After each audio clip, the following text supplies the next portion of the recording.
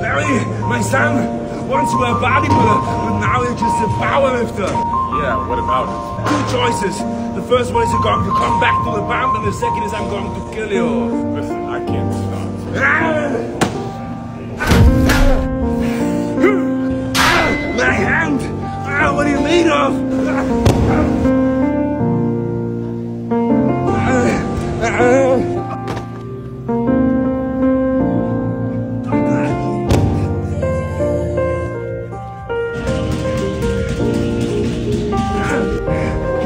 Come here.